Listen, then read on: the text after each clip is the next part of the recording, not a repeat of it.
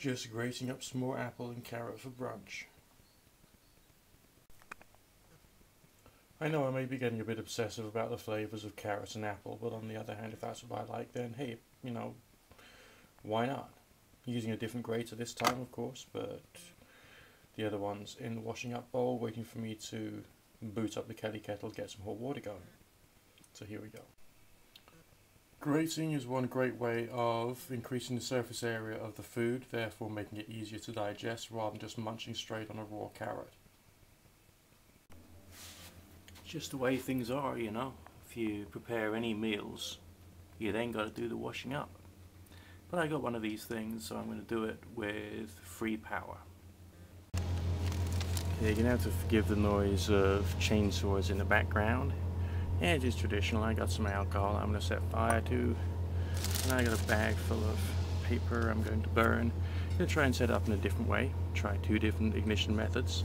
First, you're just scrunching up the balls of paper and shoving them in and putting a flame to it and seeing whether it catches. And secondly, I'll use the alcohol just to give it a bit of a boost if necessary. Okay, so here we go. Time to go a bit pyro. We'll see how quickly we can get it done.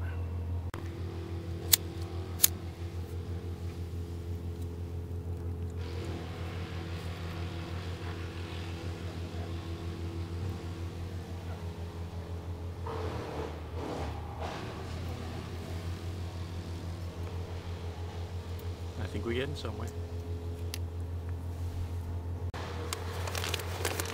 Lid on the first spark, we got some heat going out there, keeping the flame going requires lots of little balls of paper going in to keep the ignition going. We use a bit of alcohol and quickly boost it and then take it from that point. Kettle's getting quite hot, you can't see smoke because it's all flame. Okay, uh, one quarter or a half A4 pieces of paper scrunched into loose balls and dropped down the chimney seems to work best. Now she's boiling. Based upon waste paper, cigarette lighters, and one minuscule scrap of paper about that big dipped in alcohol just to boost it when it needed it.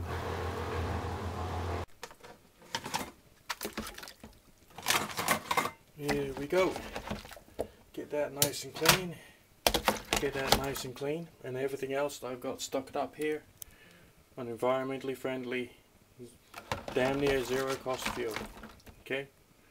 Living off grid at home.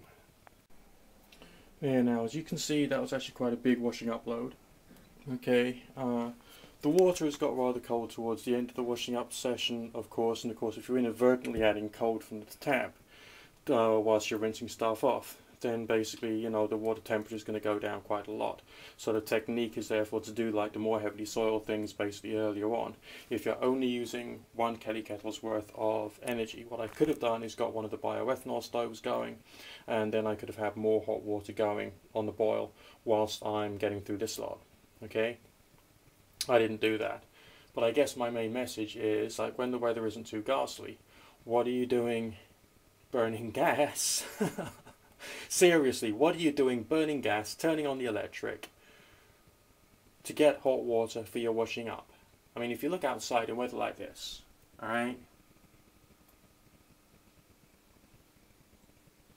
Just just think about it. What is the point in burning gas in weather like this? You can get out, you can use a Kelly kettle. If you've got solar set up, you can use the ambient solar energy. What is the point in burning extra fossil fuels? And on top of that, the cost. You know. A little bit of inconvenience is so much more commonsensical at times, you know?